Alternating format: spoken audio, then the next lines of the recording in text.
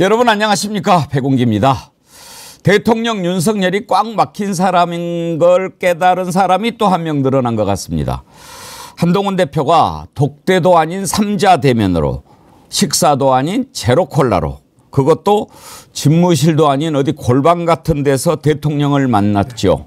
뭐라고 말하고 무슨 답을 들었는지는 모르겠지만 그렇게나 폼 잡고 말하기를 좋아하는 사람이 면담을 마치자마자 집으로 휙 들어가서 지금까지 나오지 않고 있습니다. 뭔가 분명 뜻대로 되지 않은 모양입니다. 그런데요. 참 어떻게 보면 똑똑하게 보이는 한동훈 대표도 아둔한 구석이 참 많은 것 같습니다. 그렇게 오랫동안 겪어왔고 총애를 받았는데도 윤석열이 어떤 사람인지 아직까지 몰랐다면 말이죠. 우리는 이미 다 알고 있지 않습니까?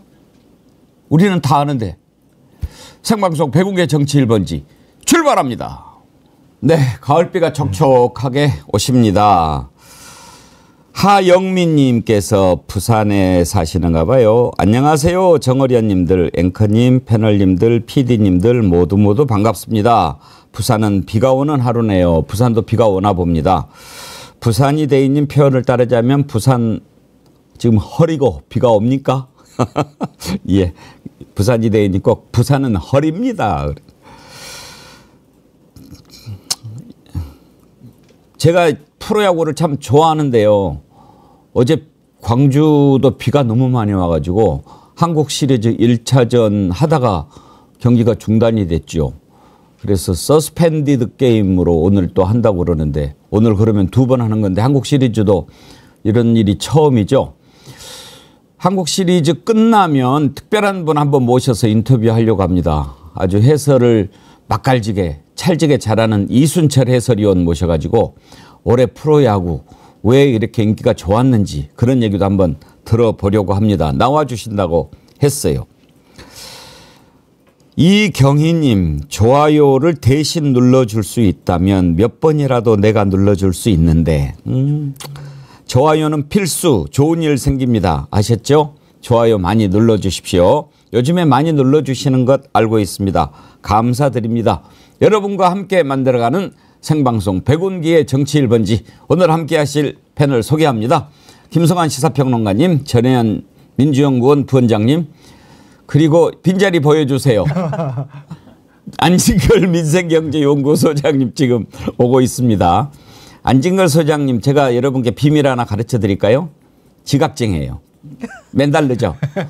그런데 항상 방송 30초 전에는 샥 골이 나는데 오늘은 비가 와서 좀 늦는 모양입니다. 이따 오면 제가 사과하도록 하겠습니다, 여러분.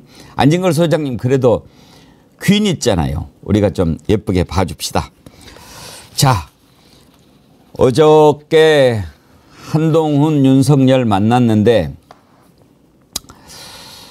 참 그렇죠. 그렇게 그 여당 대표 아닙니까? 그래도 그렇게 올라갔는데. 만나자 그러면은 언제든지 만나야죠 대통령 여당 대표. 그런데 그거를 한 달이 넘도록 뭉개다가 그래 한번 보자. 무슨 얘기 할래? 그런데 시간을 오찬도 아니고 만찬도 아니고 오후 4시 30분. 야 그거를 참 차라리 그럼 가지 말지 근데 그것도 20분 늦게 와요 한동훈 대표는 4시 15분쯤 도착했다고 합니다. 30분에 약속이니까 좀 일찍 가서 대통령 기다리는 거 예의죠. 그러면 4시 반은 맞춰줘야죠. 그런데 뭐 외교 일정이 있다고 20분 기다리게 해요. 참. 지난번에 사천 화재 현장에서 벌벌벌 어? 눈 맞으면서 귀 이렇게 하면서 기다렸잖아요. 그때 그 뒤로 윤석열 대통령 오히려 좀 궁지에 몰린 거 아닌가? 제가 보기에 한동훈 뒤끝 있어요. 꽤 있어요. 이번에도 만만치 않을 것 같아요. 그래가지고 만난 장소를 보니까 처음 보는 장소예요. 접견실도 있고 집무실 옆에 회의실도 있고 또 지난번에 이재명 대표 만났던 장소도 있는데 이건 뭐 처음이야. 완전히 무슨 골방 같은데 나무 테이블 하나 딱 있어요. 뭐요 둘이 거기서 가위바위보 하자는 건가? 잠깐 왔다가 가. 그리고 사진을 딱 봤더니 딱 이렇게 윤석열 대통령 이렇게 하고 있어요. 뭐 말해봐 뭐 뭔데 뭐뭐 완전히 폼이더라고요. 그렇게 하고 뭐 시간 좀 이야기했는데 끝나고 나서 설명도 없어요. 뭐를 했죠. 어쨌다 저쨌다. 박정하 대표 비서실장이 이렇게 기자들한테 뭐 이렇게 세 가지 얘기한 거 그렇게 얘기했습니다. 그렇게 얘기를 했는데 기자들이 궁금하죠. 한동훈 대표 표정이 어땠어요? 그랬더니 뭐라고 답을 했는지 아십니까? 해가 져가지고 어두워서 얼굴을 못 봤다고. 에이! 참말로. 거기에 또 그렇게 독대를 하자고 그랬는데 정진석 실장이 딱 끼어 있었죠. 아휴, 그렇게들 하세요. 예. 자, 오늘 첫 번째로 그 이슈부터 다뤄볼까요?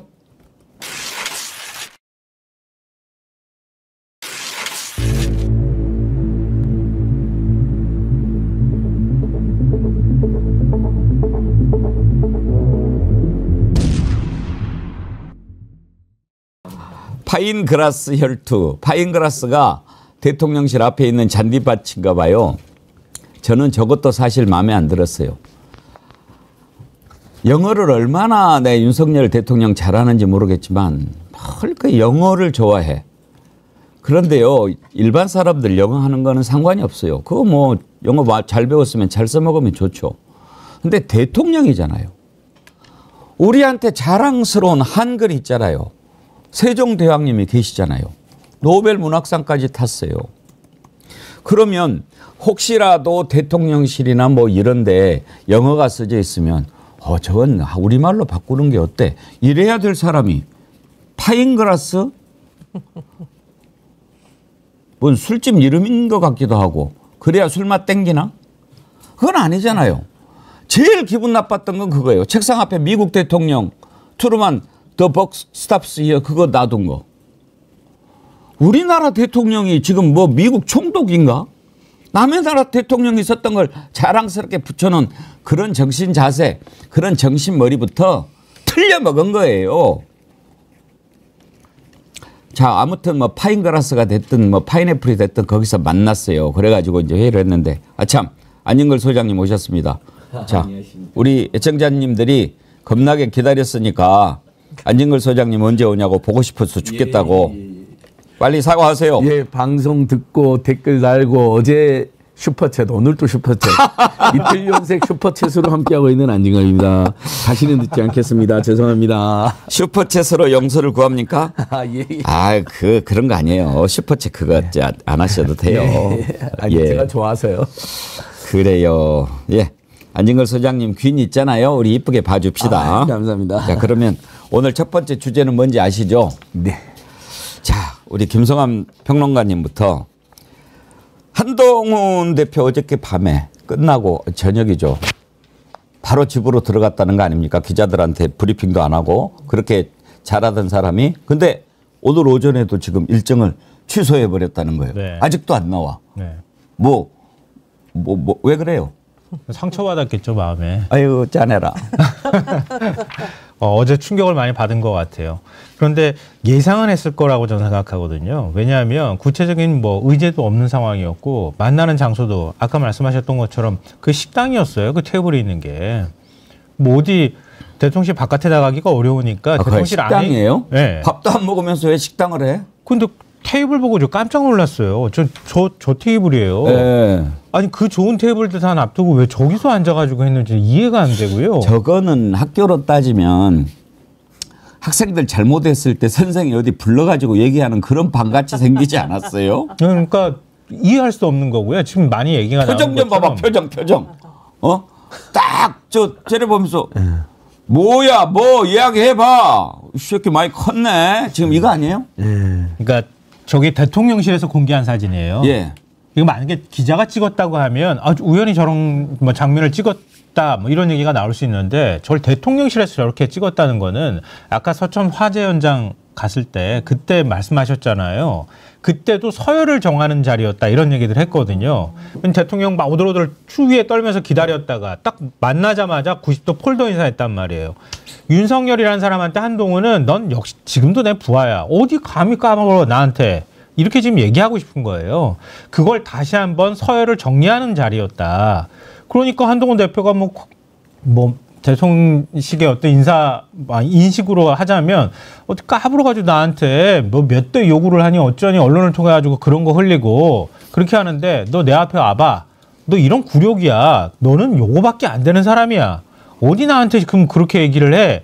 라는 거를 재확인하는 자리였고 어제 제가 사실은 그 저 박정화 대, 그 비서실장이 발표하는 자리 그때 생방으로 있었는데요. 그걸 지켜보면서 사실 다 황당하기도 하고 깜짝 놀라가지고 그런 반응을 보였었는데, 그러니까 어제 그냥 애초부터 윤 대통령이 처음부터 계속 그 자리에서 혼자서 얘기하다가 한동훈 제가 볼 때는 한동훈 대표는 딱 한 번 발언기 얻은 게 전부일 것 같아요. 그렇게 하고 막 야단치고 막 화내고 그러다 그냥 간 거예요. 한동훈 대표는 그때 그냥 확 욕 먹고 난 다음에 마음 확 상해가지고 그냥 집으로 가버린 거고 오늘 안 나왔고 이 외엔 달리 해석할 방법이 없어요. 뭘, 뭘 기대하겠어요. 오늘 오후 3시에 강화도에서 무슨 행사가 잡혀 있다고 그래요. 거기에는 네. 올까요, 전혜원 원장님? 오후 일정은 나온다고. 오늘 오후에는 뭐 네. 나올 가능성이 있는데 제가 어제 딱 보고 드는 생각이 답정너 윤석열, 겁쟁이 한동훈의 만남입니다. 네. 대통령실이 또 다르게 공개한 사진에 보면 이동하는 사진이 있는데요. 윤석열 음. 대통령 혼자 팔을 이렇게 부르고 열변을 토하면 한동훈이 옆에서 조용히 듣고 있는 거예요.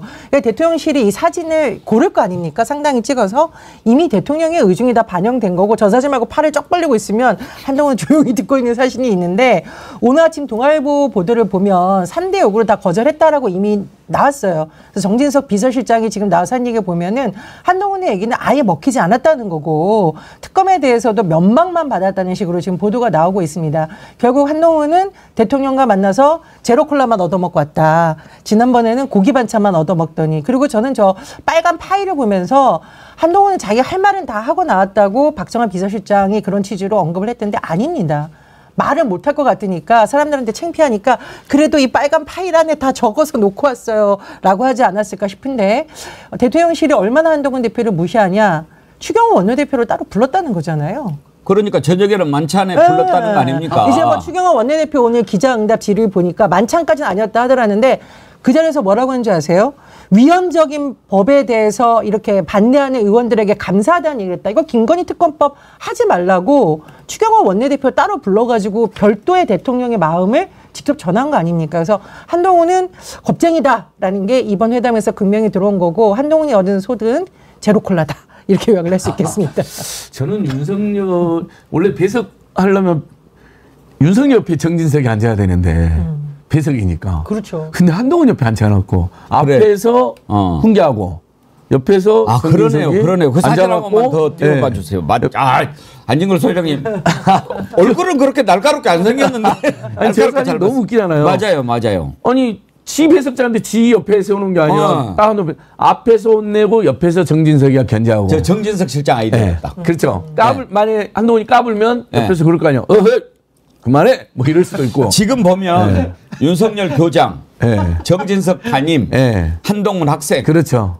이것밖에 못해. 네. 뭐 지금 이거네요. 지금 뭐 담임 또는 학생 옛날에 우리 학, 교 다닐 때 학생 실장, 학생 주임, 학생 주임 제일 네. 무섭잖아요. 막 잡으러 다니 영화관 같은 데뭐 잡으러 오시고 거의 그런 것이고 저는 한동훈이 일정을 취소하고 왔을 때 윤석열이 그냥 경로만 한 게 아니라 너 지금 이 자리까지 누구 때문에 올라왔어?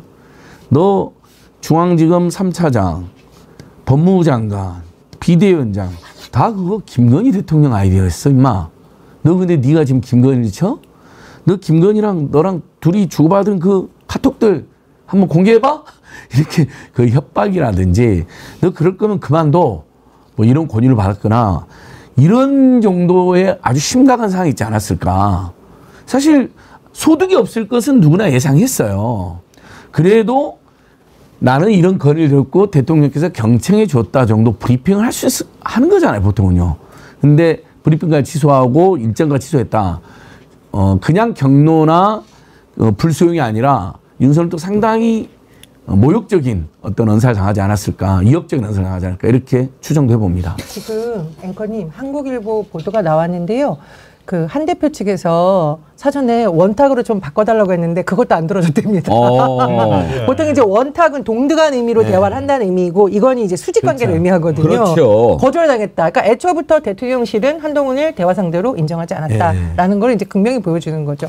근데 그 어제 뭐 지금 혼내는 사람 같잖아요. 이렇게 발딱 해가지고 네. 한동훈 앞에 사진 좀 계속 띄워봐 주세요. 근데 저는 윤석열이라는 사람도 쫄보라고 생각해요. 왜냐하면 오늘 뒤늦게 하루 뒤에 어, 대통령실 고위 관계자가 기자들한테 어때 대, 어제 대화 내용을 공개를 했잖아요. 제가 보면 정진석 비서실장일 수밖에 없을 것 같은데요. 그러니까 공개를 한 거 보면 거기에 이렇게 돼 있어요. 그러니까 김 여사 특검법 강행과 관련해서 무도하고 위헌적인 특검법을 우리 당 의원들이 막아준 것은 참으로 고맙고 다행스럽다 이렇게 얘기를 했다는데 그러니까 한 대표가 여론이 더 악화될 경우엔 우리 의원들을 설득해서 막는 게 힘들어진다 이런 우려를 전달하니까 윤 대통령이 그랬답니다. 지금까지 잘 막아왔는데 만약 당 의원들의 생각이 바뀌어 야당과 같은 입장을 취한다면 나로서도 어쩔 도리가 없다. 우리 당 의원들을 믿는다. 그렇게 말해놓고 난 다음에 겁이 났겠죠. 어제 추경호 원내대표가요 중진 의원들 따로 불러가지고 만났어요. 의원들을 단속한 거예요. 이 대통령실 분위기 안 좋고 한동훈 대표가 앞으로 따로 갈 가능성이 있는데 의원들은 제발 좀 흔들리지 말아달라. 아마 그 얘기를 전달했을 가능성이 굉장히 높거든요. 일종의 대책회의를 한 거예요. 그러고 난 다음에 한동훈 가고 나니까 추경호를 따, 로 대통령이 불러가지고 얘기를 한 게 뭘 불러서 얘기를 했겠습니까? 한동훈이 앞으로 배신할 거야. 저거 저렇게 해가지고 나랑 이제 따로 갈 거거든. 추경호 너가 확실하게 당 붙잡아. 이렇게 당부를 했다고밖에 음. 볼 수가 없다는 거예요. 그러니까 덩치는 크고 김건희 여사 말이 딱 맞습니다. 덩치는 크고 쫄보예요. 지금 정확하게 지적을 해주셨어요. 오늘 그 사진 한번 분석을 좀 할 필요가 있어요. 아까 보여주신 사진 중에 한동훈 대표하고 윤석열 대통령 앉아 있는데 옆에 경호원인가 보이 서, 경호원으로가 네. 보이는 서 있는 사람 그 사진 한번 좀 띄워봐 주시겠어요? 네, 이겁니다. 제가 설명을 좀 해드릴게요.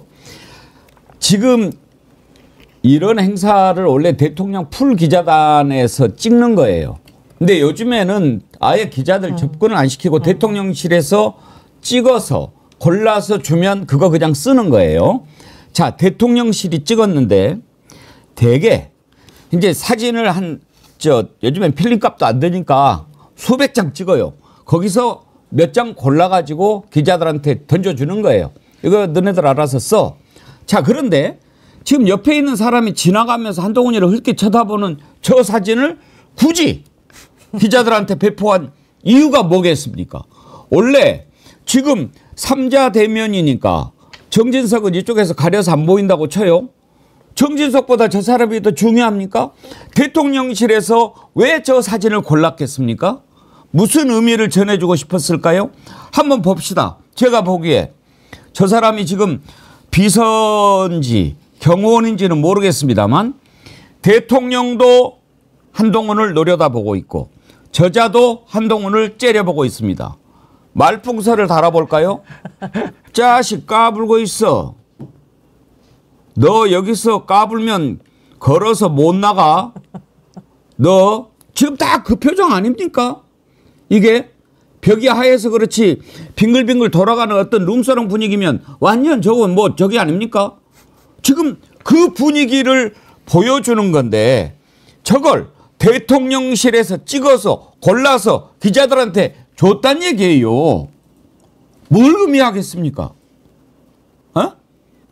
말풍선 한번 달아보세요. 전혜연 원장님. 저 네. 끝에 남자 있는 저 A씨. 지금 어? A 씨라고 합시다. 네. 뭐 뭐라고 이야기를 말풍선을 달면 좋겠어요. 저 저기 서 있는 사람은 그냥 아, 확시 확시 확시 확시 가만 안 둬 이거고 음. 한성렬을 이 파일 손을 달달달달 떨면서 아무 말도 못하고 이거 파일 파일 이러고 있고 윤석열 대통령은 뭐 김건희를 언급해 콜라나 마셔 이런 것 같습니다. 얌전한데 안정걸 소장님. 저는 아무튼 너무 기괴한 사진이죠. 그래도 제일 여당 대표가 와서 면담을 하는데 보통은 옛날 대통령 같은 수첩이라도 들고 나옵니다. 근데 뭐 네 말은 메모할 필요도 옆에 정진석 보세요. 저 사진도 웃기잖아요. 스마트폰 만지고 있습니다 지금. 그냥 그냥 잠깐 너 진짜 네가 하도 보자 그러고 언론에서 지금 비화가 됐으니까 독대도 아니고 면담인데 면담장도 아주 어? 예전에 정말 아까 말씀드렸지만 학생 중에 학생 혼내는 그런 데로 불러다가 그리고 매우 중요하지 않은 면담인데 면담은 하찮은 면담이어서 직원들 막 왔다 갔다 하는 거예요. 저 직원 이런 거 아니야. 어디 감히 우리 대통령한테 찾아갖고 이 새끼가 음. 너 너는 막내내 급도 안 돼. 너 원래 아무것도 아니었잖아. 그러네 순서도 두 번째네. 예. 예. 여사가 임마 너 다이까지 키워줬는데 어디서 변망도가게 딱 째려보면서 음. 어 얼른 끝내.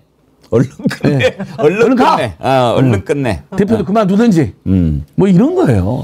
야. 지난번에 보니까 안걸 소장이 연기를, 연기를 진짜 아, 예, 예. 아, 영화 배우인데 배우 시켜야 될 것 같아요. 배우를 시켜야 될것 예. 같다고? 예. 우리 김성환 배우님 몰라세요? 말고 진짜 배우 했어요? 어이구, 예. 예. 연말에 조정래 감독님의 초원에 악덕 경찰서 초혼에 네. 경찰서장으로 나오세요. 어, 왜그 얘기는 안 했어요? 아니, 다 했어. 아, 쑥스러워서 말을 못했어. 김성환 평론가님 근데 경찰서장인 걸 알고 보세요. 모르고 보면 아파트 경비로 보여. 경비 경비원처럼 이렇게 생겼지만 맞습니다. 경비원님들도 폼 나는 분은 경찰서장님처럼 보이는데 안진걸 소장님은 경찰서장 옷을 입어도 경비원처럼 보이긴 해요. 아니 근데 제가 왜 말을 끊고 예. 얘기를 했냐면은 그러니까 지금 방금 전에 경원이든 누구든 지나가는 모습들이 나왔잖아요. 그 사람 입장에서는 이 백운계 정치 1번지에 왜 날 갖고 자꾸 그래요? 이렇게 얘기할 것 같긴 해요. 근데 제가 그러니까 상상해 보면 이런 게 나오는 건데요. 야외 정원을 갔잖아요. 야외 정원 갔을 때 그 일종의 칠간신이라 일곱 간신이라고 얘기하는 사람 중에 한 명이 대통령 바로 옆에 있었어요. 음. 이기정 의전 비서관이 음. 있었어요. 그 일부러 거기 갔다고도 볼 수 있어요. 그러니까 그렇게 얘기는 못 하잖아요. 보수 신문에서도.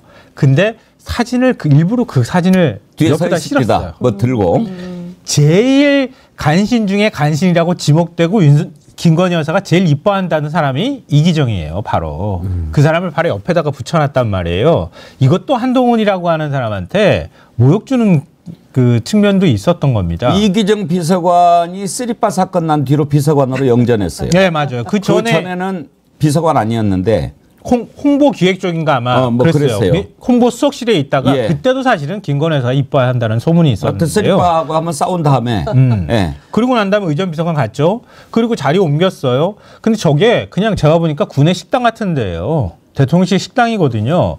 긴 식당 그냥 밥 먹는 테이블로 불러가지고 거기서 얘기를 했다는 거예요. 얘기를 하는데 대통령실의 사진 기자, 사, 기자가 아니죠. 사진사죠, 그냥. 사진을 얼마나 많이 찍었겠습니까? 쫙 찍는데요. 윤 대통령이 하필이면 한동훈 앞에 이렇게 딱 켜가지고 너 내 앞에서 감히 이 사진을 고르다 보니까 그 옆에 다른 사람이 끼어 들어갔다는 거예요.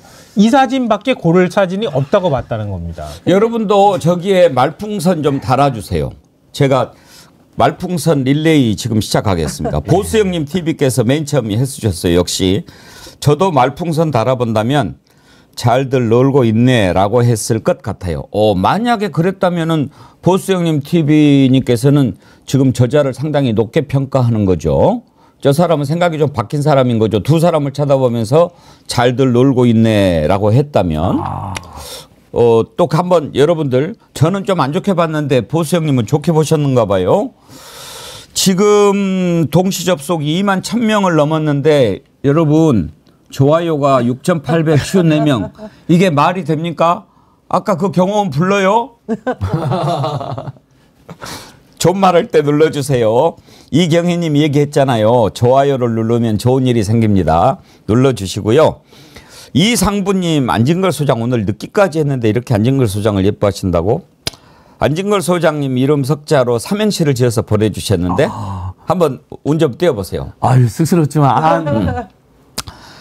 안제나서나 국민은 당신 생각, 안제나서나 당신은 국민 생각뿐인 안진걸 소장님. 진. 진정 당신은 국민의 대변자. 걸. 걸출한 거리의 대통령 안진걸 소장님 응원합니다. 아, 정말 정말 영광입니다. 더 열심히 하겠습니다.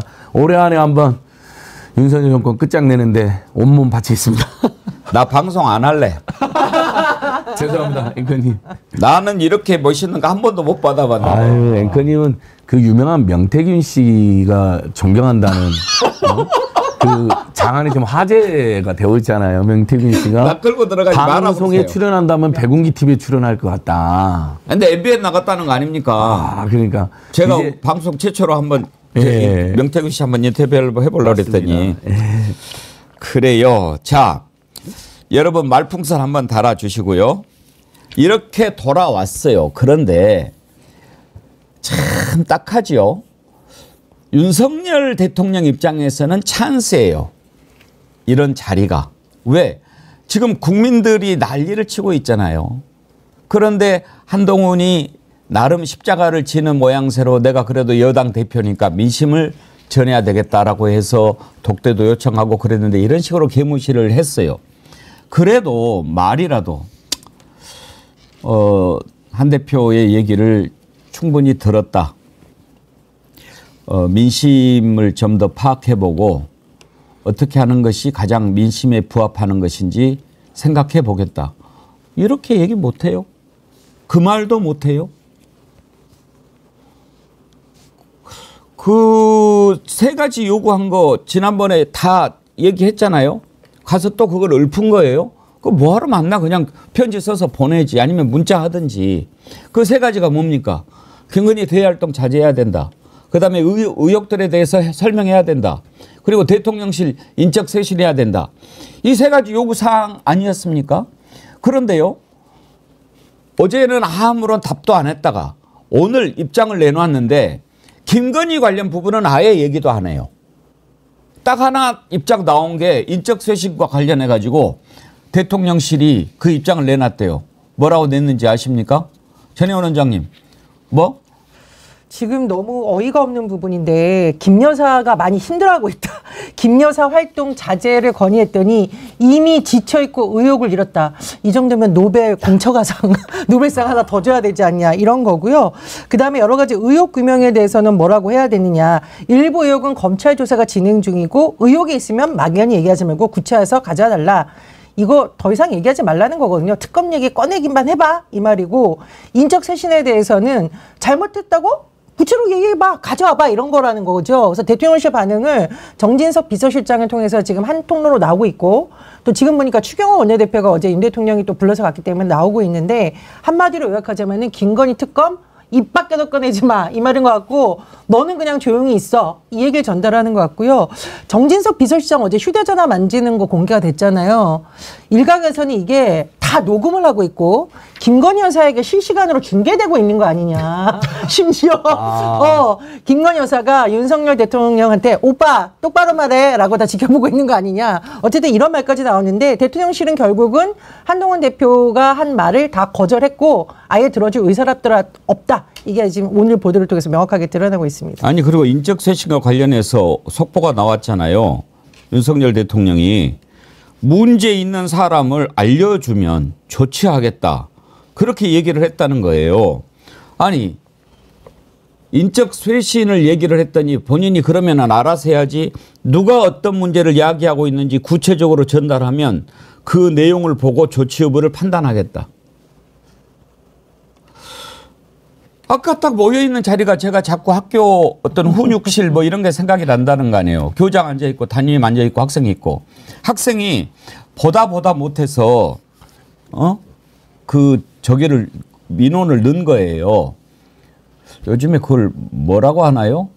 뭐 고충 처리 뭐 그런 거고 부대에서는 마음의 소리라고 하던가? 뭐 그렇죠. 백 PD님 마음의 소리라고 그러나요? 네, 마음의 소리. 소원 소리도 있고. 그러니까 소원 소리인데 뭐 마음의 소리 뭐 이렇게 마음의 편지, 마음의 편지 이런 거를 이제 써가지고 해요. 어? 교장 선생님 요즘에 저 교실 분위기가 너무나 험악합니다. 심지어 아침에 술을 먹고 들어와서 막 학생들을 패고 그런 애가 있습니다. 제가 듣기로는 이 애는 밤마다 잠도 안 자고 개 들고 개 데리고 산책하고 막 그랬다가 경원들한테 삥 뜯고 뭐 이렇게 하면서 저기 한다고 그러는데 너무 문제가 많습니다. 이렇게 이제 쓴 거예요. 그 교장이 야 그 애 불러 오라 그래. 그래가지고 그 자리에다 대고 누구 누구야 말을 해봐 다 알면서 그럼 거기서 일르라고 하는 것밖에 안 되는 거 아니에요. 지금 딱 이런 형국이에요. 누가 그랬어 이야기해봐. 그러면 대통령실 인적 쇄신 지금 지난번에 뭐 7간신 나오고 10상시 나오고 대통령실 아니 그러면 저기한테 김대남한테 말을 하고는 되지. 김대남 이야기했잖아요 10상시. 네. 이미 다 알고 있죠. 뭐 그리고 어제 우리 백문 TV에서도 간신 이야기 나왔는데 간신 간별사. 예, 정진석이 최고 간신을 꼽히기도 했지 않았습니까? 김태효나 언론에서 다 지적하는데 우리 한진걸 소장님 이렇게 날마다 봐요. 예예 예, 예. 어. 아, 어제 슈퍼챗도 쐈지 않습니까? 지금 이틀 연속 슈퍼챗입니다. 내일 또 쏘겠습니다. 한번 이번 주는 계속 쏴보겠습니다. 한번 기록 한번 세보겠습니다. 아, 예게요. 아, 근데 그 얼마나 이게 워딩을 마사지를 해서 밝힌 거겠어요. 안 밝힐 수가 없잖아요. 음. 대통령실은 어제 그 흔한 서면 브리핑 하나 안 했어요. 음. 그러니까 여론이 안 좋아질 걸 생각할 수밖에 없잖아요. 그럼 비서실장이 나서서 대통령 발언을 최대한 감정 다 덜어내고 마사지하고 밝힌 게 요 정도 수준인 거예요. 말씀하신 것처럼 인사는 내일이야. 이렇게 대통령이 얘기했다는 거고요. 꼭 필요한 일 아니면 대활동 안 할 거야. 뭐 앞으로 얘기하지 마. 검찰 조사가 진행 중이니까 무슨 뭐 의혹 규명이니 뭐니 이런 소리 하지 마. 이렇게 얘기를 했다는 거고요. 명태균 얘기 제가 해드려도 되나요? 네. 정말 재미있는 발언이 하나가 있어요. 대통령 얘기를 고위 관계자가 지금 전한 거거든요. 명태균과의 관계에 대해서 대선 전 명 씨가 만나자마자 김종인 전 비대위원장과 손을 잡으라는 조언을 했다. 이후 중간에 명 씨와 단절한 것도 사실이고 그 다음이 중요한데요. 집사람은 나와 달리 명 씨를 달래가는 노력을 기울였던 게 아니겠느냐. 이렇게 얘기했어요. 지난번에 관계 단절했다 그러지 않았어요? 근데 집사람은 달래는 노력을 계속했다 이렇게 얘기를 했거든요. 그러니까 지금 우리가 의심하는 것처럼 계속 명태균하고 카톡이든 뭐든 연락을 주고받았다는 얘기예요. 이거 쓱 하고 흘리면서 그렇게 지금 얘기를 하고 있는 거거든요. 이건 사실 그러니까 지금 대통령실에서 나오는 반응이나 대통령 반응을 봐도요. 김건희 여사는 뭔가 계속 하고 있었다는 얘기가 되는 거예요. 그러니까 오늘 이, 요 말씀만 제가 드리고 그 얘기 끊었으면 좋겠는데요. 오늘 중앙일보 정치부장이 칼럼을 썼어요. 근데 칼럼에 뭐라고 썼느냐면요. 여권 핵심 관계자가 김건희 여사가 꾸준히를 도맡았다 이런 얘기를 했답니다. 선거 전엔 선거엔 돈이 들고 음지의 일도 있기 마련인데 그걸 김 여사가 외면하지 않았다는 거라는 거예요. 돈을 댔다.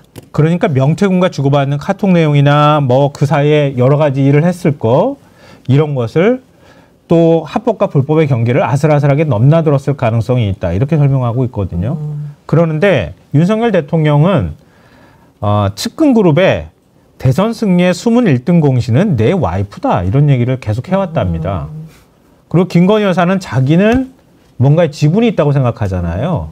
그러니까 굉장히 많은 일들을 했다고 밖에 볼 수가 없는 건데 윤 대통령의 오늘 발언 안에 그게 숨어 있는 거다. 음. 그러니까 거꾸로 말하면 김건희 여사를 건드리면 곧 대통령을 건드리는 일이 되고 김건희 특검법이 통과가 되면 윤석열은 스스로 물러나는 상황으로 내몰릴 거라는 걸 잘 알고 있다. 음. 이런 결론으로 갈 수밖에 없다는 예. 거예요. 자, 그 아까 말풍선 제가 달아달라고 부탁을 드렸더니 아주 좋은 글들이 올라오고 있습니다. 당선작 소개 좀 해드릴게요. 그 사진 한번 깔아주세요. 그래야 그 A씨 나오는 걸로요. 그래야 재미있을 것 같습니다. 자, 야웅 선생님. 자, 윤석열 말풍, 말풍선부터요. 눈 깔어. 한동훈. 아, 뚜껑 열리네. 경호원. 건이한테 일러야지. 박수 한번 쳐주세요. 예, 별로였어요. 그러면 이거 정어리 절찬리 모집 중님 윤석열 일단 말해봐. 한동훈 김건 점점점 정진석 이거 왜 이래? A 씨 정어리 TV 좆대꾸알 마지막에 정어리 절찬이 모집 중님 아, 아주 좋습니다. 한 분만 더 갈까요? 유어 네이버님. 윤, 아야, 내가 어찌야 쓰겠냐? 한, 아, 좋게 좋게 가자 그거죠 형님. 경호원, 동원아 앵간히 해라. 그거라고. 이거 반응이 조금 별론가요? 알겠습니다. 아무튼 세 분 저 당선작으로 예, 하겠습니다. 그리고 참 우리 애청자님들 저를 눈물 나게 합니다. 제가 안진걸 소장 너무 좋은 글 이상부님이 보내줘서 약간 삐쳤더니 배공기 것도 올라와요. 네. 안진걸 소장님. 제가 운을 떼보겠습니다. 세 개 나 왔어요. 이렇게 예. 띄워봐 주세요. 백. 배공기 오빠는 운 운명처럼 나에게 왔다. 기. 기운 나게 하는 나의 비타민. 아, 이건 아, 너무 좋습니다. 정어리 절찬이 모집 중님 좀 기분 좋아지셨어요? 네, 감사합니다. 정말 힘이 있으십니다. 주, 주블리님, 주블리님, 주블리님도 삼행시 안진걸 소장님. 백. 백전백승 백운기. 운. 운빨이 아니다. 기. 기술도 전술도 압도적이다. 백만 정을 이끌고 꼭 이 정권을 무너뜨리자. 와. 아, 한 번만 더. 요 정필성님은 전혜연 원장님이 한 번 불러주세요. 아 오늘 띄워드리는 네, 백운기로. 백. 백번 만 번 보고도 또 보고 싶은 얼굴. 아, 운. 정말 심쿵이네. 운수 대통할 관상을 지녔습니다. 기. 기라니까 좋아요 눌러주세요. 기라니까 아, 재치가 있으신 분입니다. 예. 삼행시는 이렇게 반전이 있어야 재밌어요. 음, 맞아요, 맞아요. 제가 들은 삼행시 중에 최고로 꼽는 게 황선홍이었다니까요. 네? 황선홍. 황선홍. 황선홍 옛날에 선수 때 어떤 그 예능 프로그램에 나왔어요. 그래서 어떤 사람이 황선홍 이름으로 자기가 삼행시를 해보겠대. 음. 그러니까 한번 해보라고 그러면서 이제 운을 뗐어요. 김성환 평론가가 황선홍 선수라고 하고 네. 자 한번 이름 저 석자로 저 했으니까 제가 오늘 띄워볼까요? 네. 황 황금의 발 선. 오. 선수들의 희망. 홍. 홍명보 파이팅. 아. 와. 황선웅 선수 앞에다 네. 두고.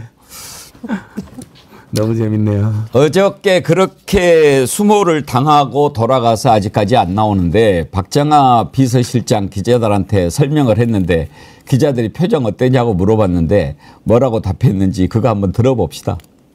저기 여야정 협의체에 대해서는 그럼 용산도 뭐 적극 공감을 한 건가요? 어 똑같은 제가 대통령 말씀을 옮기는 건 적절치 않은 것 같아요.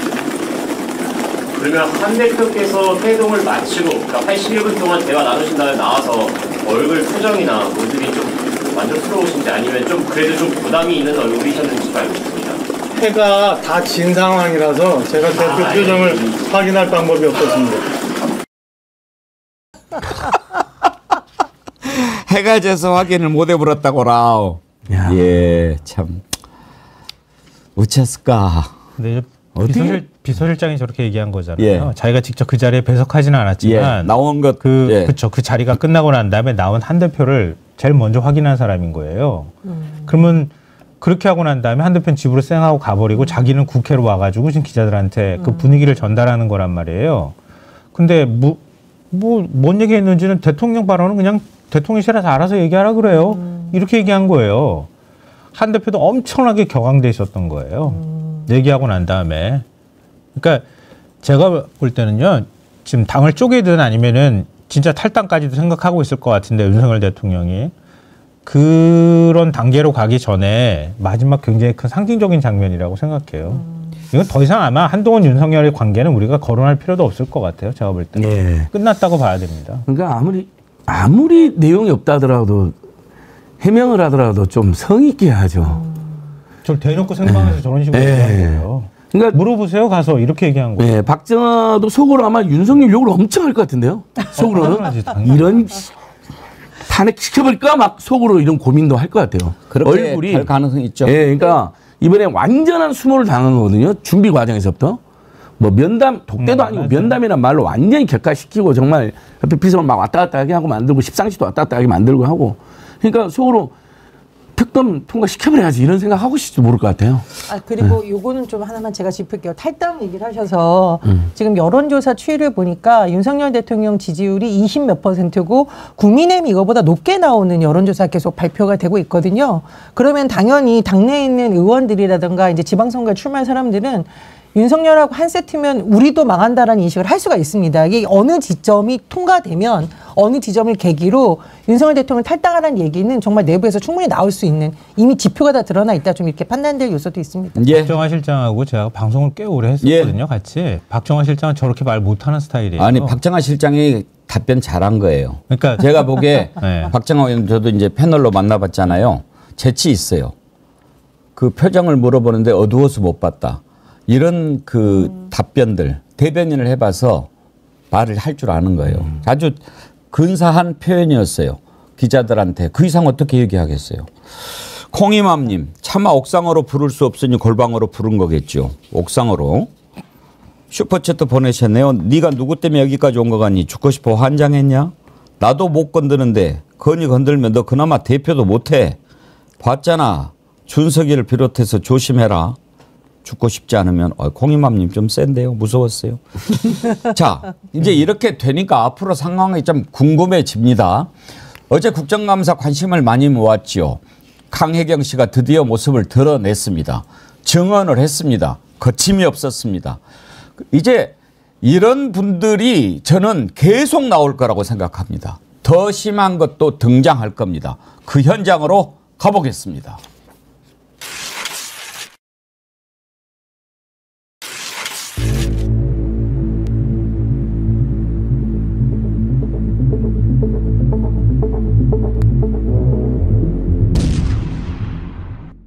네네. 아, 네. 그래서 서울 가서 그 돈을 받아왔나요? 안, 안 받았습니다. 어떻게, 그러면 어떻게 했습니까? 돈은 안 받아오고 며칠 뒤에 그 시간이 조금 지, 지났을 때 이창구 선거를 준비하러 이제 가야 된다 해서 일단 투입이 됐고 김영선 공천을 받아왔습니다. 그러면은 그 3억 7천만 원 대신에 김영선의 공천을 받아왔다 이 말인가요? 네 맞습니다. 김영선 공천을 누가 준 겁니까? 김건희 여사가 줬고 지금 그 당시에 당 대표였던 이준석 의원과 그 윤상현 그때 공간위 위원장의 이제 힘을 합쳐서 그 의창구라는 지역을 그 전략 공천 지역으로 만들고 나서 김건희 여사가 김영선 공천을 준 걸로 저는 알고 있습니다. 그 안지걸 소장님 이제 거래 의혹이 이제 조금씩 사실로 드러나는 네. 거 아닙니까? 여론 조사를 했어요. 수주를 받고 했는지 그냥 자체적으로 했는지는 모르겠어요. 아무튼 이걸 가지고 이제 돈을 받아야죠. 받으러 갔는데 돈을 안 받고 그냥 와. 근데 딜을 했다는 거. 네. 그거 아닙니까? 예. 그 저는 그 여론조사 그 표를 봤거든요. 예. MBC에도 공개도 했는 거기에는 뭐 지금은 3억 6천인데 그 표에는 어쨌든 3억 7천으로 되어 있습니다. 근데 정말 많이 했어요. 뭐 그리고 언론사에도 공표도 했고요. 머니투데이는 정말 해명해야 됩니다. 돈 한 푼도 안 받, 돈 한 푼도 안 주고 여론조사를 수십 번 보도했던데 그럼 머니투데이랑 짜고 한 건지 윤석열 띄우려고 그 조사들이 다 윤석열이 비정, 비정상적으로 높은 지지를 받은 조사들인데 윤석열 김건희 입장에서는 완전 복덩이죠. 홍준표를 막 이기는 거 나오고 완전히 막 밴드 의견하고 발생하고 그게 언론에까지 공표가 되고 물론 이제 공표형도 있고 미공표형도 있고 미공표형까지도 윤석열이 다 보고를 했다는데 미공표형이다 하더라도 당 관계자에게 당원들한테 수시로 전달이 되면 그게 여론을 지지를 왜곡하는 거거든요. 근데 3억 7천 달라 했더니 돈 대신에 돈은 못 줘. 돈 주면 문제가 될 수 있잖아요. 나중에 이거 흔적이 남기 때문에 네가 원하는 거 말해봐. 그런 김영선 공천 이렇게 했다는 거잖아요. 그것을 그동안 좀 뭐 의혹이다 또는 그런 소리를 들었다 했는데 어제 강, 강희경 씨가 정말 담담하면서도 확신에 차가지고 또 국회에서는 위증을 하면 처벌도 받는 곳인데 또 언론도 있고 국민의 대표인 국회의원들이 수십 명 있는 자리에서 김건희가 공천 줬다. 김건희가 공천에 개입했다. 불법적으로. 3억 7천 안 주고 개입했다. 이것은 뇌물을 받고 공천해 준 겁니다. 이건 이건 지금 수사하면 당장 구속될 수도 있는 아주 위험한 범죄 증언이 나온 거거든요. 그래서 김건희 특검법 반드시 빨리 처리해야 된다. 이렇게 다시 한번 호소해 봅니다. 저는 어제 강혜경 씨 증언을 보면서 그런 생각을 했어요. 왜 강혜경 씨가 지금 저 자리에 있을까? 원래 그 명태균 씨랑 같이 일했던 사람 아니에요? 맞습니다. 그랬다가 이제 김영선 국회의원 당선되는 거 도와주고 그 공로를 인정을 받아서 세비도 반띵하고 내 사람도 갖다가 심고 회계 책임까지 맡겠습니다. 그런데 강혜경 씨가 그 조그만 여론조사 기관에서 이렇게 일을 할 때까지는 사실 이제 그냥 일반 직장인 뭐 그런 마음이 있을 수 있어요. 근데 사람이 어디에서 무엇을 하느냐에 따라서 생각하는 것, 보는 것 이런 게 달라지지 않습니까? 대한민국 국민의 대표들이 모여 있는 국회에 들어와서 내가 국회의원 보좌관으로서 이제 해야 될 일들을 다 생각하고 나 이제부터 나라를 위해서 일을 한다. 이런 마음이 생겼을 것 같아요. 그런데 그 안에서 벌어지는 짓거리를 보다 보니 이거 이러다가는 우리가 나라가 망하겠구나. 일반 개인 회사에서 이렇게 해서 뭐막 하면은 그거야 뭐 그 회사 하나 망하고 사장 잘못해서 교도소 가면 그만이지만 나라가 이런 식으로 가서는 안 되겠다는 자각이 온 것 같아요. 이래서는 안 되겠구나. 이거는 밝혀야 되겠구나. 대통령부터 이렇게 다 썩어 있으면 이거 큰일 나겠구나. 이런 생각이 들지 않겠습니까? 국회 보좌관이 아니라 국회 옆을 지나가는 사람만 봐도 국회를 바라보면서 우리나라가 잘 돼야 될 텐데 하는 생각을 가질런지 간에 그 안에서 일하는 보좌관으로서 어떻게 그런 현실 자각이 생기지 않겠습니까? 그래서 저는 강혜경 씨가 폭로를 했고 이제 이런 상황에서 나 오케이 가족도 있고 내가 지켜야 할 것도 많이 있으나 국민들 앞에 사실을 정확하게 이야기해야 되겠다. 그래서 이 잘못된 정권 빨리 정리해야 되겠다라는 그 생각으로 이렇게 국감장 증인으로까지 나온 거 아닐까 그런 생각을 했어요. 전혜원 원장님 어떤 결의가 보이지 않았습니까? 어, 근데 저는 정말 강혜경 씨가 대단하다고 생각을 합니다. 사실 대중 앞에 자기의 모습을 온전히 드러내고 국회에 출석해서 이렇게 증언을 하는데 얼마나 많은 용기가 필요했을까 이런 생각이 들고요. 그리고 다른 정치인들 특히 국민의힘 의원들이 감히 입에도 못 올리는 그 김건희라는 이름을 정확히 말했죠. 김영선 공천을 누가 준 겁니까?라고 하니까 김건희 여사가 졌고라고 정확하게 덕기를 네. 했습니다. 저는 이걸 보면서 와 어떻게 보면 이 강혜경 씨의 결기가 정말 웬만한 정치인 못지 않다. 그리고 왜 이런 결심을 하게 됐을까? 앵커님도 말씀해 주셨듯이 정말 본인 나름대로 걱정과 여러 가지를 고민한 끝에 정말 이런 정치가 더 이상 돼서는 안 된다. 우리 아이들이 이런 정치인이 통치하거나 리더십을 발휘하는 나라에서 미래가 없다라는 생각을 하신 것 같습니다. 제가 강혜영 씨로 추정되는 인물의 페이스북을 한번 봤거든요. 과거에 김영선 의원의 활동을 본인 페이스북에 계속 올리면서 굉장히 자부심을 드러낸 바가 있어요. 뭔가 음. 좋은 활동을 하는 듯한. 그러나 그 이후에는 태도가 바뀌어서 국민 앞에 다 밝히겠다. 그래서 저는 정말 이분이야말로 진심을 다해서 내가 정말 내 목숨 걸고 이런 정치인 한번 끝장을 내는데 조금이라도 기여하겠다. 그런 심정으로 국회에 나오셨다고 생각합니다. 단위님께서요. 강혜경 씨 정말 대단했어요. 의지도 강하고 여전사 같으면서도 한편 안쓰러웠고 우라도 치밀고 보는 동안 마음이 무척 복잡했습니다. 꼭 그랬습니다. 단위님 심정이 저하고 똑같았습니다. 그런 마음이 들었어요. 그리고 이제 명태균 씨 녹취까지 법사 그 국회에서 공개를 하지 않았습니까? 그 내용도 한번 들어보시죠. 삼성들한테 야, 야단 얼마나 맞고 온줄 알아? 당신 국회의원 누가 주나? 명태균이 때문에 김건희 여사가 어, 선생님 그 하라고 줬는데 김영선은 간단해. 내가 그 사무실 나오면 여사가 알아서 황금이하고 우리 내 생계가 안 되기 때문에 알아서 김영선한테 당신 공천 왜 받았어? 윤상영이가 어제 뭐 경찰에 보는데 정권 참신한 거 내야지 니는 정신이 있나 없나? 아 대통령 뜻이라고 해갖고 내 대통령 전화한 거 아나? 사모하고 전화해가 대통령 네. 전화해갖고 대통령 나는 김영선 했는데 나한테 윤상이 끝났어. 함성득 교수 얘기가 나옵니다. 김성환 평론가님. 함성득 교수가 지난번에 윤 대통령하고 그 이재명 대표 만날 때 중간에 다리를 놔줬다고 그랬죠. 얘기하는 인물이잖아요. 그러니까 함성도 원장 이 윤 대통령하고 사실 대선 캠프 그 결합하면서 굉장히 더 가까워졌다고 얘기를 하잖아요. 같은 아파트 산다는 얘기도 네, 들었어요. 같은 아파트 살았고 예. 그것 때문에 사실 더 가까워졌다 이런 얘기를 할 정도였거든요.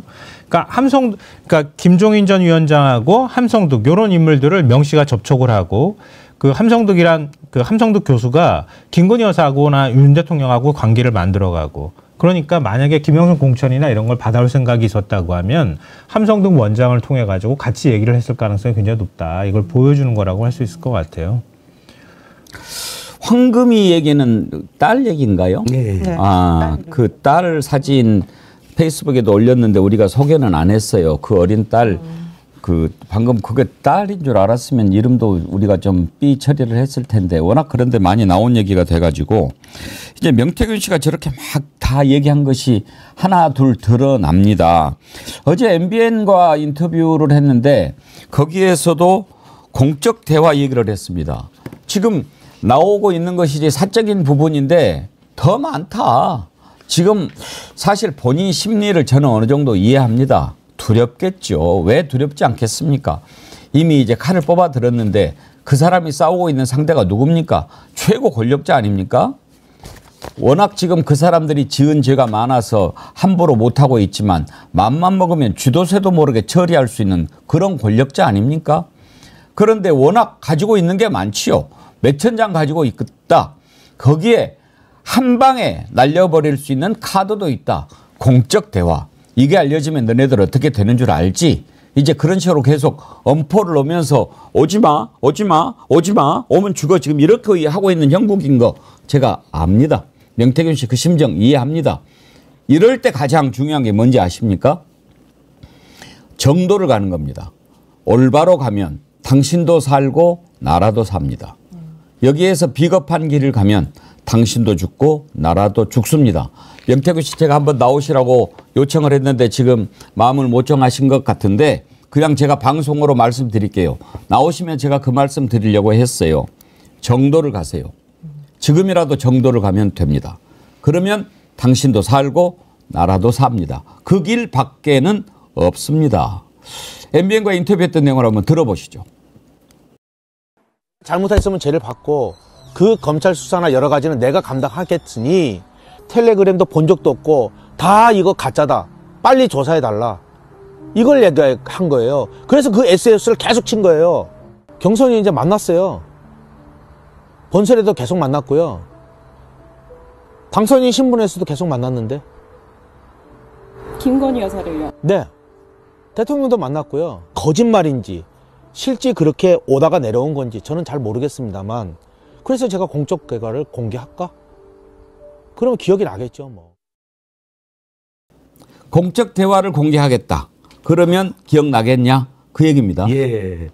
그러니까 SOS 쳤다 그러고 내가 계속 나를 이렇게 애면하고 거짓말하고 궁지에 몰면 이제 사적 대화라고 또 우겼으니까 공적 대화까지 공개해버렸다고 윤석열 김건희한테 대단한 공개적으로 방송에서 협박을 하는 거죠. 근데도 어, 대통령실은 명태균이를 절대 못 칠 겁니다.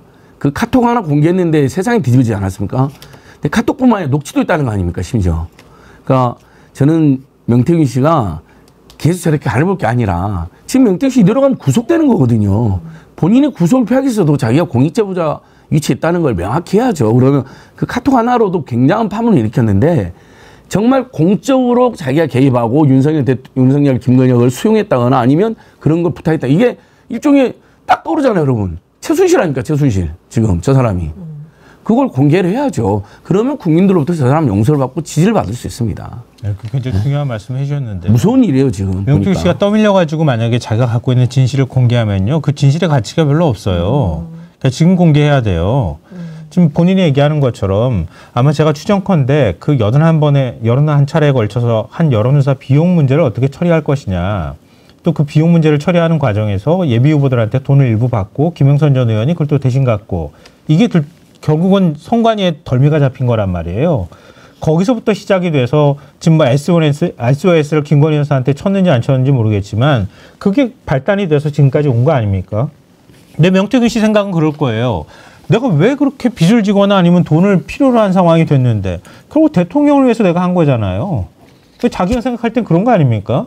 그렇게 해서 내가 대통령을 만들었는데 그럼 그, 그것 자체 행위가 공적으로 내가 평가받아야 되는데 나를 지금 돈 몇 푼에 왔다 갔다 하는 사람으로 취급하고 있어. 네. 사기꾼 취급하고 있는 거잖아. 나는 김건희 여사가 그동안에 공적인 문제를 엄청나게 많이 논의했던 사람이야. 이렇게 생각하는 거란 말이에요. 그게 전혀 설득력이 없는 얘기는 아니에요, 사실은. 왜냐하면 자기가 대통령 만들었다고 한다면. 네. 이게 공... 그러니까 보호해주고 안 보호해주고를 떠나서 나중에 공개하면 그건 진짜 억지로 공개를 하는 거거든요. 음. 그럼 나중에 그 책임 다 져야 돼요. 그러니까 지금 차라리 적극적으로 공개하는 게 오히려 낫다고 생각해요. 이 공적 대화라는 표현이 저는 참 무서운 표현입니다. 사적으로 예를 들면 뭐 어떻게 지내세요? 술 한잔 할까요가 아니라 공적으로 대통령과 대화를 나눴다면 국정에 관한 일을 논의를 했다 이렇게 추정이 되는 거죠. 이건 정말 국정농단이 되는 겁니다. 그런데 명태균 씨가 본인의 막내딸에 대한 애정이 굉장히 강한 것 같습니다. 어, 사진에 올린 글이라던가 그동안 언급하면서 따님의 이름을 댔던 건 그러면 정말로 진실을 밝히는 데 있어서의 어떤 폭로를 하는 역할을 할 건지 아니면 등 떠밀려 가지고 검찰 조사 과정에서 짜집기가 의심되는 수사로 인해서 본인이 다 뒤집어 쓰고 사기꾼으로만 남을 것인지 이걸 좀 선택을 해야 되는 시점이 왔다. 그래서 뭐 백운기 앵커님 존경한다고 하셨으니까 이 자리에 나오셔서 가감 없이 진실을 다 드러내는 것이 오히려 본인과 본인 가족들을 위해서 그래도 명예를 지킬 수 있는 길이다. 저는 좀 이렇게 생각이 듭니다. 아름다움님이 이런 글을 주셨어요. 백운기 앵커님 사람들이 진짜 중요한 얘기는 전혀 안 하시는데요. 강혜경 씨가 어제 정말 심각한 얘기를 했습니다. 무슨 말이냐면요. 어제 명태균이 국진당 의원들한테 강혜경 말이 다 거짓말이니까 허위 사실로 무조건 고발해라. 안 그러면 건희 비리 다 까발리겠다고 했다네요. 이거 심각한 거 아닙니까? 이런 얘기를 했나요? 글쎄요, 좀그 거기까지는 음. 보지는 못했는데, 음. 음, 지금 강혜경 씨가 갖고 있는 게 smoking gang이 smoking gun이 되질 못하는 이유가 명태균이 얘기한 것만 녹취를 좀 해놓은 거란 말이에요. 나머지는 회계 자료란 말이에요. 그럼 그 중간 다리인 명태균 씨가 김건희 여사나 대통령하고 어떤 뭔가를 주고받았는지를 공개를 해줘야 그게 지금 스모킹건이 되는 상황이에요. 제가 보니까. 그러니까 서로 책임 공방으로 이렇게 하다 보면 그냥 자기들끼리 끝나버릴 가능성이 있거든요. 그러니까 명태균이 명태균이라는 사람의 역할이 굉장히 중요합니다. 예. 지금 보수 형님 TV님께서는 이런 글 주셨어요. 명태균 말대로 고발하면 모두 공범으로 인정하는 꼴이라 못할 걸요. 그렇죠? 맞습니다. 지금. 어. 예. 그러니까 페이스북에 계속 글 올리는 거로 봤을 때 지금도 요즘 이제 명태균 씨 페이스북은 기자들이나 정치인들이나 제 같은 사람들이 하루에 한 번씩은 들어가 보는 곳인데 뭔가 추가적인 행동은 있을 것 같긴 합니다. 근데 정말 아까 김수환 평론 말씀처럼 막 등 떠벌리고 막 구속될 것 같으니까 막 폭로하면 물론 그것도 의미는 있죠. 하지만 강혜경 씨처럼 강혜경 씨가 명태균 씨는 사기꾼이 아니다. 이렇게 음. 평가를 해줬잖아요. 좋게. 저도 사기꾼은 아닌 것 같아요. 이 사람은 자기가 보수를 재건하는데 앞장섰다고 주장하잖아요. 그러니까 나름대로 저희들과 입장은 다르지만 나름대로 애국심으로 보수를 재건하는데 헌신을 다하고 물론 그 과정에서 여론을 조작한 것은 명백한 범죄죠. 저는 당연히 그분이 책임져야 될 부분이 있다고 생각합니다. 매간 매직한 것도 범죄고요. 하지만 그 과정에서 윤석열, 김건희 정권 2년 반 보면서 보수를 재건하는 건 나라를 망치고 완전히 파괴하고 있다라고 생각할 수 있는 거거든요. 아마 그런 생각하고 있는 것 같거든요. 그러면 진짜 지금 그 저번에 공개한 그 카톡 하나도 어마어마한 파급이 있었는데 추가적인 꼭 공익제보를 하시라. 저희가 보호해드리겠다고 지금 간접적으로 연락도 드렸어요. 음. 민생경제연구소나 음. 뛰어난 변호사들이 지금 강혜경 씨 변호를 노, 영희 변호사 맡고 있잖아요. 음. 우리도 명태균 씨를 어떤 공, 법률적 정책 사회적으로 변론이나 보호를 하겠다. 아 강혜경 씨 변, 법률 대리 예, 노영희 변호사예요. 그래서 네. 거기에 출연을 했구나. 예, 그래서 예. 오늘 아침에 인터뷰도 나오고 예. 그 노영희 변호사는 강혜경 씨가 지금 굉장한 친밀한 관계고 신뢰 관계 있으니까 변호인인 걸 떠나고 방송도 막 같이 하고 그랬으니까 어, 오늘 아침에 지금까지 밝혀진 거에 더 많은 게 있다는 겁니다. 음. 예. 오늘 노벨 댓글상 후보작들이 겁나게 올라옵니다. 부산이 대인님, 명태균 씨 숨을 곳은 국민 속입니다. 국민 속입니다. 강혜경 씨처럼 국민 속으로 들어오세요. 정 안 되면 정어리 때 속으로 오시든지. 예, 정말 그렇습니다. 또 이런 것도 참 놀라웠어요. 이제 강혜경 씨가 나와가지고 김영선의 공천 개입, 김영선과 명태균 또 김건희와의 관계 이런 것을 공개한 것 이런 것을 현실적으로 강혜경 씨 입을 통해서 확인하는 것도 놀라웠지만 우리가 그동안에 긴가민가 했던 부분 주술된 주술 관련된 부분 그리고 엘리자베스 여왕 조문 때는 왜 저렇게 늦게 가고 뭐 이렇게 좀 궁금했던 부분들 이런 부분들도 강혜경 씨 입을 통해서 또 명태균 씨 입을 통해서 드러나고 있습니다. 도대체 이자들이 이 나라를 어떤 식으로 끌고 가는 거고 있는 겁니까? 그 얘기 한번 들어볼까요? 해외 순방 때 뭐 꿈자리가 안 좋다 뭐 이래가지고 일정을 바꾸기도 하고 그랬다는 거 아닙니까? 그 준비 됐나요?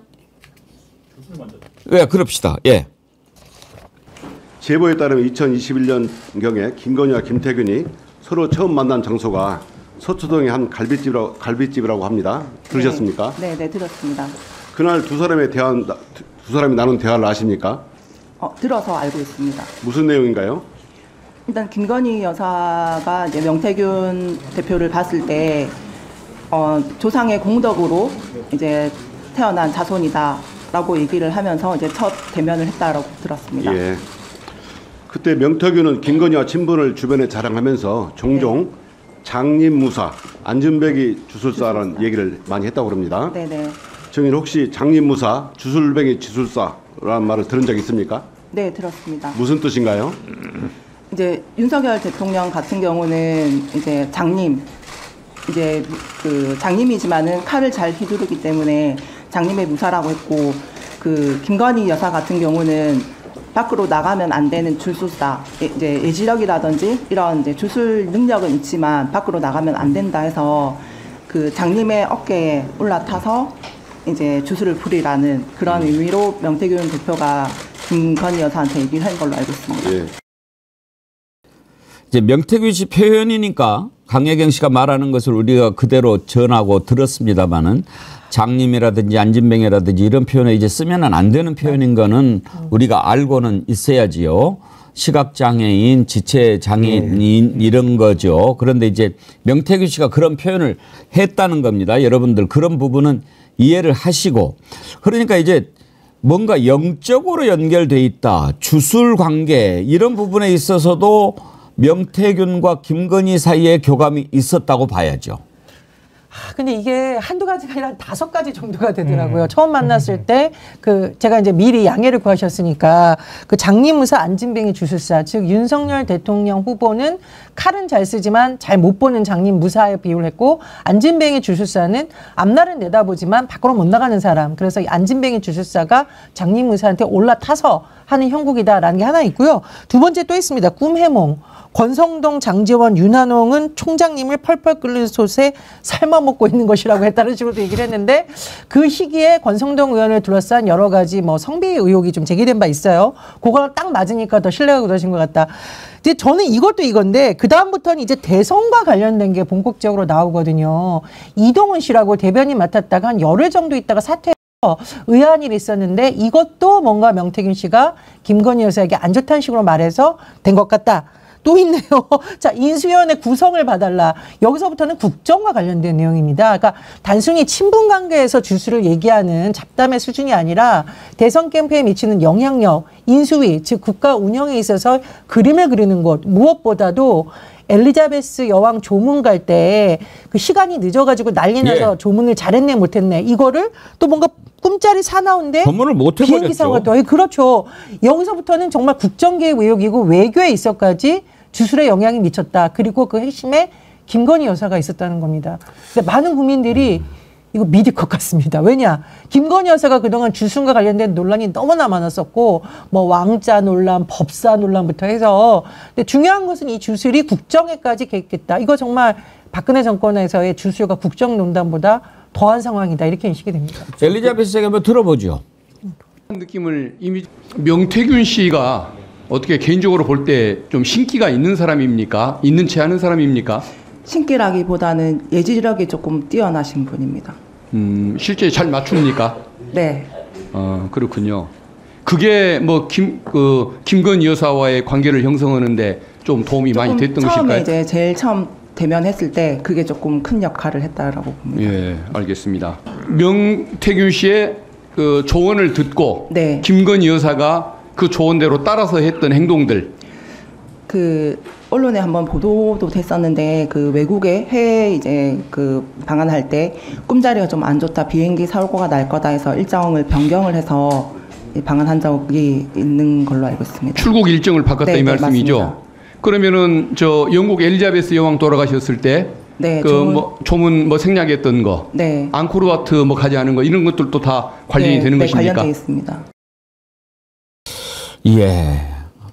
저게 어떻게 보면 맨 처음에 연결되는 고리였을 것 같기도 합니다. 지금 명 씨가 밝히기로는요. 그 윤 대통령 부부를 처음 만난 게 2021년 6월 18일이거든요. 근데 6월 말부터 시작해서 7월 넘어가는 동안에 이준석, 김종인 이런 사람들하고 연결을 해서 국민의힘이 입당하도록 하는 그런 영향력을 발휘해요. 어쩜 이렇게 짧은 기간 동안에 이렇게 전적으로 어떤 신뢰를 받을 수 있을까? 그게 굉장히 궁금했거든요. 그게 풀리지 않는 의문이었어요. 바로 그 사이에 저게 있었지 않을까. 음. 그런 생각을 하게 되는 거예요. 그러니까 그 중간에 김건희 여사가 있었다고밖에 우리가 볼 수가 없는 상황이기 때문에 지금 얘기하는 것처럼 김건희 여사 처음 만났다고 하는 그 자리에 벌써 김건희 여사한테 제가 지난번에 명태균하고 통화했다고 하는 사람 말씀을 전해드린 적이 있잖아요. 그러니까 처음 사람 만나면은 그 사람한테 대뜸 얘기한다는 거 아니에요? 당신 이렇게 할래요? 저렇게 할래? 이렇게 질문한다는 거 아닙니까? 그러니까 그런 식으로 사람을 그러니까 압도하는 힘을 갖고 있는 사람이다. 이렇게 얘기를 했다고 하는 건데 처음 만나는 자리에서 명태균이 그 뭔가를 얘기를 했겠죠. 주술적인. 그러니까 그런 표현들을 썼겠죠. 근데 그러니까 김건희 여사가 거기에 대해서 조상의 공덕으로 태어난 자손 같다. 이런 반응을 보였고 그러면서 뭔가 교감을 하는 과정들이 있었다고밖에 볼 수가 없는 거예요.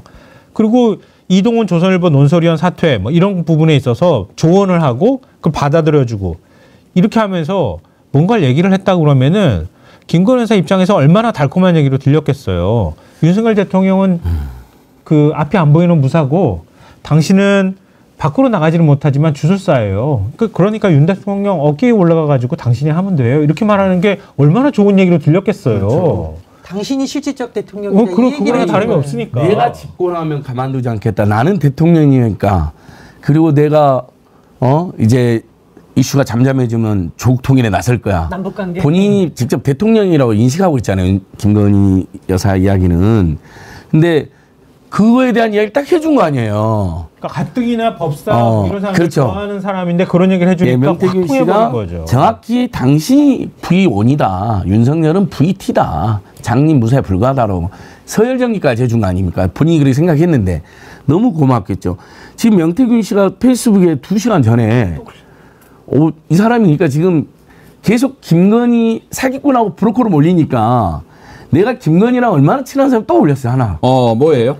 그러니까 기, 그 소문 방금 이야기됐던 소문을 김건희가 명태균한테 보냈네요.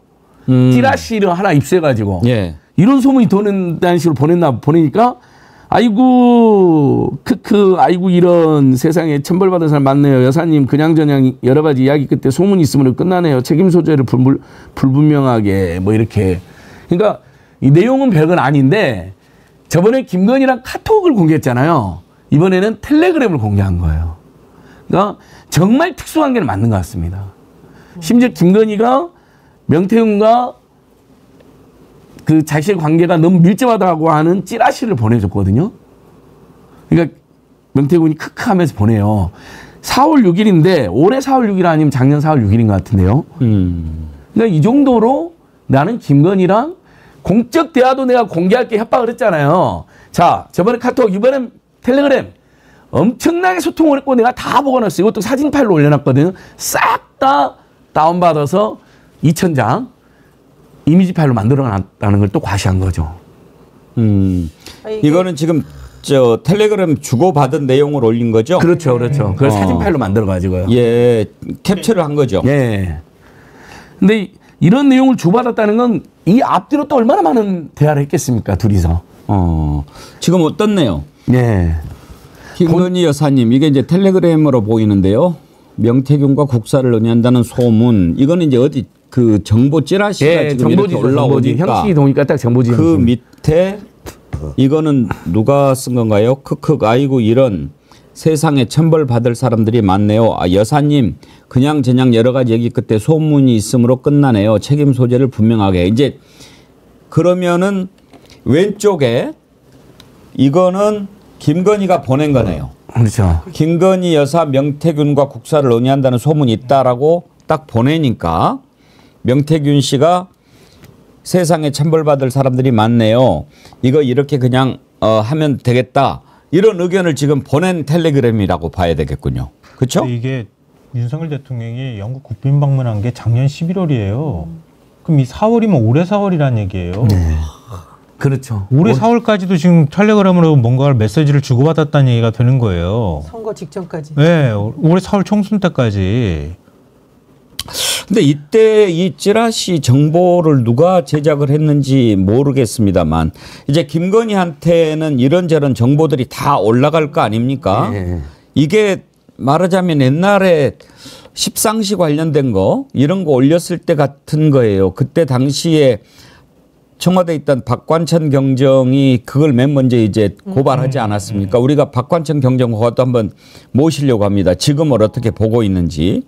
근데 이건 나, 나름 정보를 제대로 전달을 한 겁니다. 왜냐하면 명태균이 누군지를 이 사람이 이제 보고를 올렸는데 김종인, 이준석도 사주를 보러 찾아갈 정도로 입소문이 난 인물이다. 과거에 창원 일대에서 공중전화부책 만드는 사업하다가 공중전화가 없어지니까 사주를 보는 무속인으로 전향했다. 그러니까 그런 쪽으로 그러니까 김건희가 전국에 유명하다는 점쟁이들은 다 찾아가고 막 그랬을 거니까 만나서 뭔가 통한다는 것을 느꼈고 내가 대통령 만들어 줄게요. 뭐 이렇게 이제 큰 소리 쳤을 거고 몇 가지를 착착착 했는데 맞아. 그러니까 이제 딱 맞아 떨어졌을 거라고 짐작이 가네요. 짐작이 가요.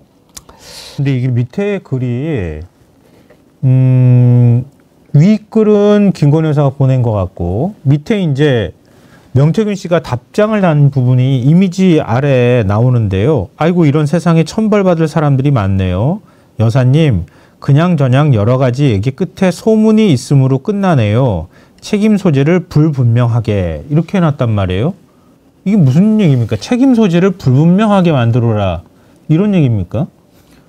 지금 굉장히 뉘앙스가 애매하거든요. 이은주 아니 저 이은주님이 그거를 보내오셨는데 대통령 해외 순방 취소 위약금이 알려진 금액보다 훨씬 많은 8억 6천만 원이랍니다.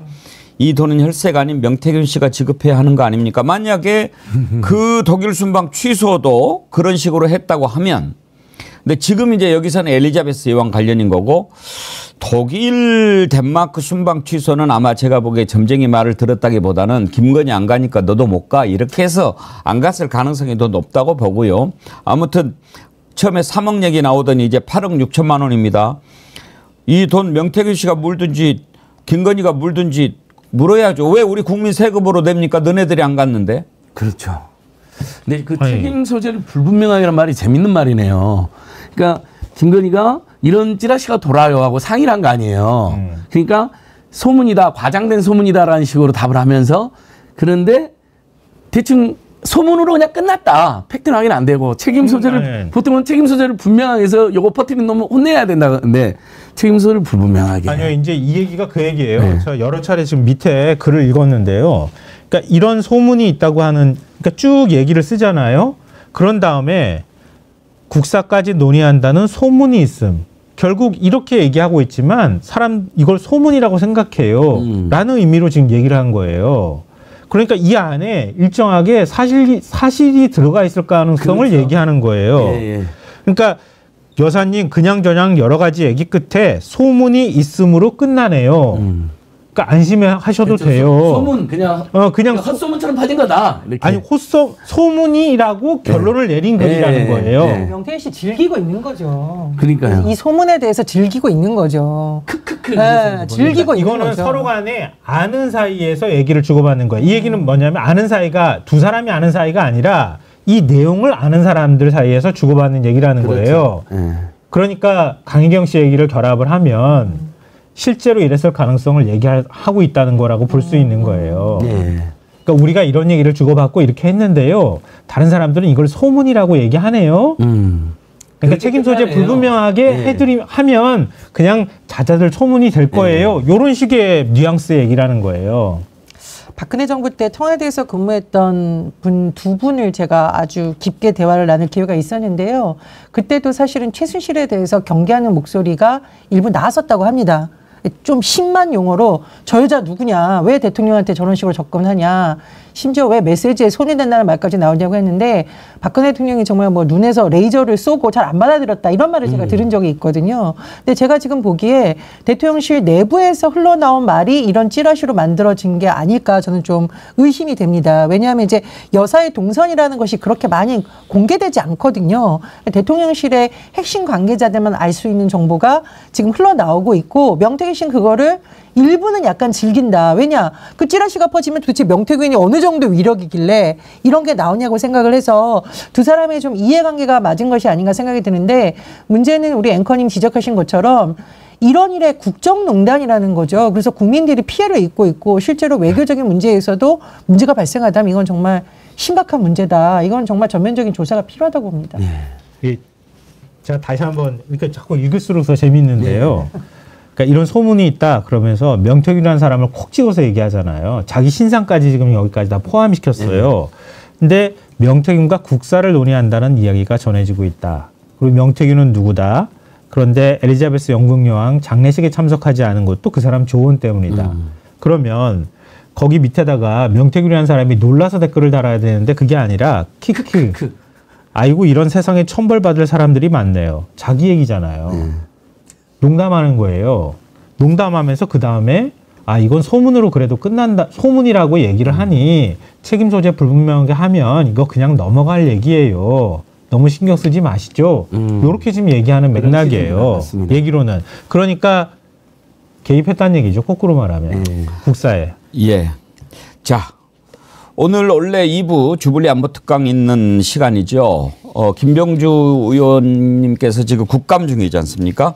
그런데 지금 오늘 우리가 사실 좀 북한 군들이 러시아에 파병돼 가지고 싸우고 있다 이런 것도 좀 궁금하고 그래서 좀 물어보고 싶은 게 있어서 전화라도 연결합시다. 그렇게 해서 지금 우리가 전화로 연결을 하려고 합니다. 어, 뭐라고 분석을 하는지 한번 들어보기로 하고요.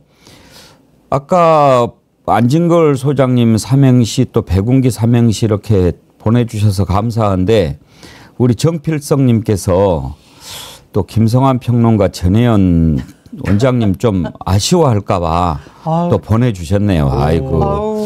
정필성님 멋쟁이에요. 전혜원 원장님부터 먼저 한번 소개해드릴까요? 아우 가슴이 떨리는데요. 음. 오늘 띄울까요? 자. 띄워주세요. 전. 전생의 나라를 구하신. 예. 예현님. 현. 현재 이 나라가 위험합니다. 또 한 번 구해주세요. 아. 이야. 아유, 너무 감사합니다. 전생에 나라를 구하신 분, 저도 그렇게 생각하고 있습니다. 아유, 감사합니다. 김상환 평론가님. 아유, 저는 이런 걸 안 당해봐서요. 제가 한번 떨립니다. 하겠습니다. 김. 김이 모락모락 열불나는 형국입니다. 성. 성질 날 때는. 완. 완만한 성격의 보유자 성화님의 목소리를 들으면 차분해집니다. 아, 아, 너무 정확하게 표현해요. 감사합니다.